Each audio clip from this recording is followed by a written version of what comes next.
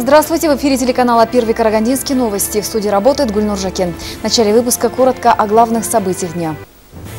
Учебники только первоклашкам. Бесплатное питание детям из малоимущих семей. Единая форма в школах будет. В областном акимате обсудили подготовку к новому учебному году. Жителя Тимиртау пытали и удерживали в гараже. Теперь он может остаться инвалидом. Я подошел к нему, думал, поздороваемся сейчас, поговорим с ним. Он мне выстрелил сразу в глаза. Я не успел даже ничего сказать, ничего сделать. Военнослужащие Национальной гвардии успешно ликвидировали последствия радиоактивного заражения. На полигоне прошла эстафета среди подразделений радиационной, химической и биологической защиты. Бесплатного питания для всех учеников начальных классов в карагандинских школах не будет. Учебниками полностью обеспечат только первоклассников. Об этом рассказал руководитель управления образования Асхат Аймагамбетов. Также он заявил, что школы области к предстоящему учебному году готовы. Ремонтные работы в учебных заведениях завершаются. Аким области Нурмухамбет Абдибеков распорядился, чтобы завоз угля и топлива в школы закончили до 15 сентября. Срок до 15 сентября обеспечить во всех учреждениях образования подготовку угля в объеме необходимом для прохождения всего забитого сезона. Бесплатным питанием в школах будут обеспечены только ученики из многодетных и социально незащищенных семей. Таких в области около 15 тысяч. Всем остальным родителям за школьные обеды придется, как обычно, платить из собственного кармана. Учебников на всех тоже не хватит. В первую очередь их выдают первоклашкам. Они будут обучаться по новой единой программе. Остальные школьники книжки получат частично. Особенно остро нехватка учебников наблюдается в Караганде, Жесказгане и Каражале. На выделенные средства учащиеся в полном объеме будут обеспечены учебниками для первого класса, религиоведения для девятого класса, английского языка четвертого класса и, за исключением Караганда, Сказана и Каражала, также учебниками для восьмого класса. Доставка учебников завершена согласно графику 15 августа 2016 года. В настоящее время учебники доставлены в школу и идет процесс раздачи до э. Ремонт в школах продолжается, но это не помешает им принять детей 1 сентября. Более 250 школ области получили замечания от Департамента по чрезвычайным ситуациям. Все они, кроме трех школ в Актугае, уже устранили недочеты. Также в регионе закрылись три школы в Бухаржауском и Каркаролинском районах. Еще два учебных заведения будут оптимизированы. Несколько школ решено реорганизовать. В настоящее время в Хвойском районе изыскиваются бюджетные средства, и данная работа планируется, что также будет завершена. В организациях образования области установлены автоматизированные противопожарные сигнализации. В целях проверки готовности объектов образования к новому учебному году Управлением образования созданы мобильные группы, организован выезд во все регионы с 8 августа по 25 августа. Глава региона поручил тщательно проверить готовность всех учебных заведений. В нашей области есть 99 населенных пунктов, в которых отсутствуют школы. Подвоз детей из этих сел не должен создавать родителям проблем, отметил Аким области. Также он поручил руководителям обеспечить безопасность школьников в тех местах, где ремонт еще не закончен. Необходимо где надо огородить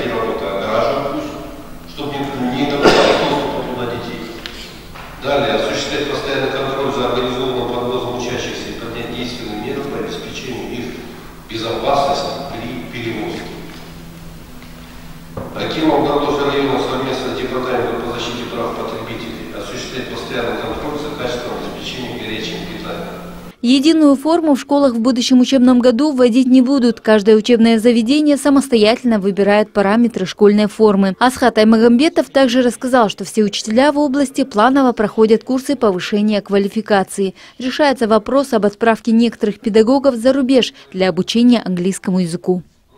Аем Амрина, Исламбек Успан, Александр Цирикидзе, Первый Карагандинский. 25-летний житель Тимиртау может остаться слепым из-за жестоких пыток пьяной компании.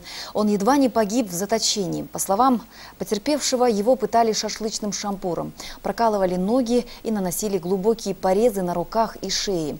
Ему также выстрелили в глаза из травматического пистолета. Бекзат Сулейменов стал жертвой пьяных тимиртауских мужчин. По словам потерпевшего, своих обидчиков он раньше не знал. Парни подошли к Бигзату и его другу возле спорткомплекса. Один из них выстрелил мужчине в глаз из травматического оружия и начал избивать. Я упал когда, он начал других людей стрелять вокруг, кто находится.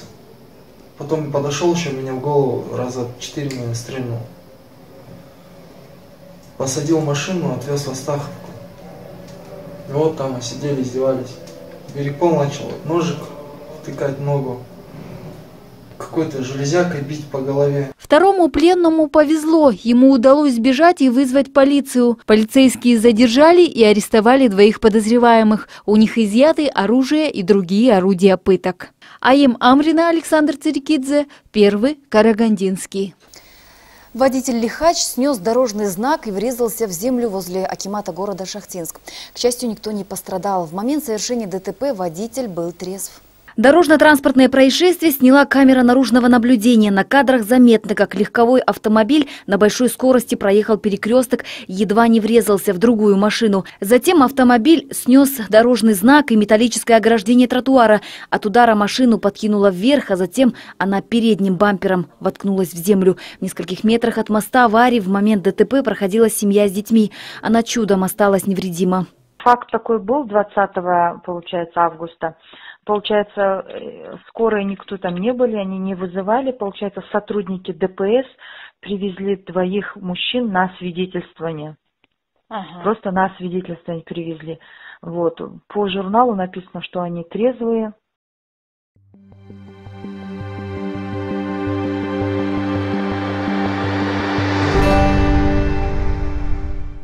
По данным Департамента внутренних дел, большинство квартирных краж происходит путем проникновения через окно. Обычное пластиковое окно можно взломать меньше, чем за минуту и без особого шума. Компания Galaxy рекомендует высокопрочные окна торговой марки Galvin и противовзломную фурнитуру Farnax, которые лишают грабителя возможности быстрого и бесшумного проникновения. Спрашивайте у изготовителей окон вашего города.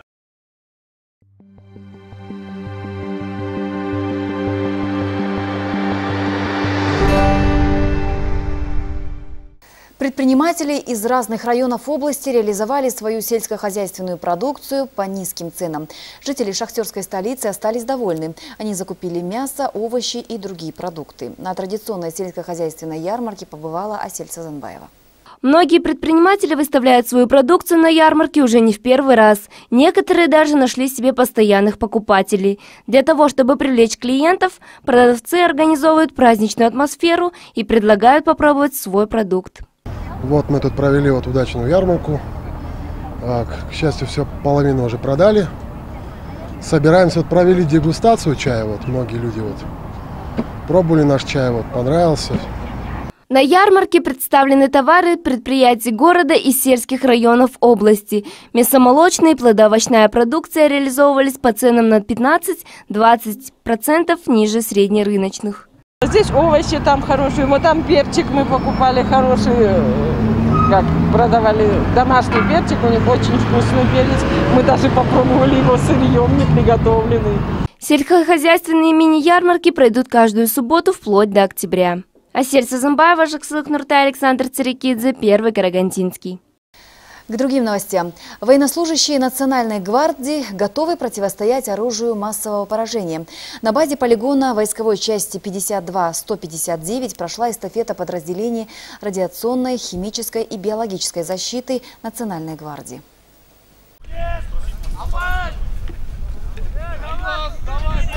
Эта местность заражена боевым отравляющим веществом. Сюда оперативно прибыли мобильные бригады подразделений радиационной, химической и биологической защиты Национальной гвардии.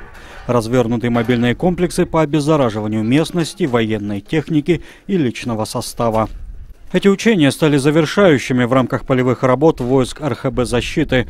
Всего 120 военнослужащих по контракту прибыли в наш регион из всех областей республики. Полигонная работа вообще предназначена для, так скажем, э, слаживания подразделения РХБ защиты, потому что здесь мы даем им практику работы с, машинами, специальными машинами. Это автолечивательная станция, разведка химической машины на базе УАЗ-469 и БРДМ-2РХ. Подобные учения в Национальной гвардии проводятся четвертый год подряд, и каждый раз выбираются полигоны в разных частях страны. К примеру, в прошлом году эстафета проводилась в Алматинской области. Дмитрий Панченко, военнослужащий по контракту Павлодарской войсковой части 5512. По его мнению, такие учения дают неоценимый опыт действия в обстановке, приближенной к реальной. На данном этапе я выполнял норматив одевания средств защиты, одевания общевойскового защитного комплекта в виде комбинезона, норматив 3Б и работу с прибором ДП-5В, дозиметрический прибор по определению радиоактивности, радиации на местности. На данном участке нам была задача найти источник, радиоактивный источник на определенном участке, на определенном участке местности. Не секрет, что оружие массового поражения уже многие годы находится под запретом во всем мире. Однако последние события показывают, что террористические организации не останавливают эти запреты. А это значит, что подразделения радиационной, химической и биологической защиты еще долго будут актуальны в современной армии. Прошедшим учениям организаторы дали высокую оценку. Андрей Тен, Исламбек Успан, Александр Царикидзе, Первый Карагандинский. Победители Лиги дворового футбола награждены кубками, грамотами и денежными сертификатами. Своих обладателей также нашли и медали областной спартакиады «Арай-2016». На стадионе «Шахтер» отметили День спорта. Практически в каждом дворе есть своя футбольная команда. Не так давно городские власти решили объединить юных футболистов. Так зародилась Лига дворового футбола. Павел Егоров – капитан карагандинской дворовой команды «Ровесник». Среди 14-летних спортсменов его команда заняла первое место. Ну, мы просто как бы сами играем вместе друг с другом, что-то новое узнаем, поделимся друг с другом, мы вот так вот учимся. У нас много игроков участвовало из нашего двора, мы с ними каждый день играем, у нас хорошая сыгранность. Выигрывали все время. В средней возрастной группе лидером чемпионата стала команда средней школы номер 23 из юго-восточного района Караганды. А среди старших спортсменов-любителей пальма первенства досталась футболистам команды «Челси». Все победители и призеры награждены кубками, медалями, а также денежными сертификатами. Здесь же подвели итоги областной спартакиады «Арай-2016». Организаторы также не обошли вниманием и профессиональных спортсменов, которые внесли значительный вклад в развитие физкультуры и спорта. Завершилось торжественное мероприятие показательными выступлениями учеников школ единоборства – Однако празднование Дня спорта на этом не закончилось. На Саранском шоссе состоялось первенство по велоспорту, а на беговых дорожках стадиона «Шахтер» – легкоатлетический забег среди юношей и девушек. Андрей Тен, Исламбек Оспан, Александр Царикедзе, Первый Карагандинский. Уральский Акжаих прервал победную серию шахтеров. В напряженной борьбе уральские футболисты сумели вырвать победу 0-1. Акжаих увез домой три очка. Обе команды играли с новыми главными тренерами. Кроме того, уральский Акжейк неплохо поработал на трансферном рынке, усилившись чилийцем Матиасом Рубио и нигерийцем Майклом Одибе. Стартовый игровой отрезок не изобиловал интересными моментами. Обе команды показывали осторожный футбол, приглядываясь друг к другу. На десятой минуте капитан гостей Мирам Сапанов пробивает ворота карагандинцев, но мяч проходит мимо. Через шесть минут уже горняки организуют опасный момент у ворот Акжаика. Максат Байжанов исполнил опасный навес, но защитник соперника успел снять угрозу. Под занавес первой половины матча у «Шахтера» вновь возник хороший момент, но нигерийский легионер Майкл Одибе вовремя подставился под мяч. Уже во втором тайме на 57-й минуте наступил переломный момент игры. Судья назначил пенальти в ворота горняков за фол на Мирославе Лечича. Фредди Коронель ударом с 11-метровой отметки сумел открыть счет в матче. Этот гол так и остался единственным. Комментируя игру, главный тренер «Шахтера» Алексей Еременко заявил, что настрой у команды был не на достаточном уровне. Э, результат, я считаю, заслуженный. Э, на победу мы сегодня не наиграли. И э, в чем проиграли в настрое? В том, что, на что мы фокусировались. Акжаик выиграл за счет большего желания, командного желания всех 11 игроков биться за каждый мяч, работать в обе стороны, оборона-атака.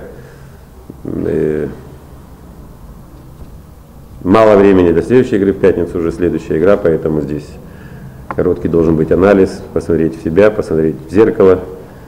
И тут, тут проблема в психологии, не, не в мастерстве, потому что все шло от психологии. Настрой был не на достаточном уровне, что-то мы упустили, что-то недонастроились, потому что сверхмотивированная команда приехала играть против нас. Мы это видели за каждый сантиметр на поле. Они бились, пластались и заслуженно победили. А вот наставник уральцев игрой своей команды доволен, несмотря на то, что игра была сложной. Тяжелая, сложная была игра для нашей команды и для «Шахтера», я думаю, тоже. В принципе, тот план, который мы выдерживали на игру, да, я очень доволен тем, что команда полностью выдержала его. Сыграли дисциплинированно, строго, не дали практически шансов там сопернику, как говорится. Ну и в то же время сами имели там в конце уже матча, там имели больше моментов. К сожалению, нам очень тяжело пока даются голы, но тем не менее, там то, что момент есть, это уже радует. Проиграв матч, «Шахтер» опустился на одну строчку турнирной таблицы и занимает десятое место. Следующая игра горняков пройдет на выезде в Кустанае. Наши футболисты встретятся с середнячком чемпионата местным клубом «Тобол». Андрей Тен, Исламбек Оспан, Александр Царикидзе, Первый Карагандинский. В завершении выпуска еще об одном. Департамент по чрезвычайным ситуациям Карагандинской области распространил сообщение. На 23 августа в Центральном Казахстане объявлено штормовое предупреждение. По данным Казгидромета, ночью 23 августа на севере и востоке области на поверхности почвы ожидаются заморозки до 1 градуса ниже нуля. Это все, о чем мы успели вам рассказать. Спасибо за внимание. Если у вас есть интересная информация, звоните нам по телефону 42 06 49 и смотрите наши новости на сайте канала. Всего доброго.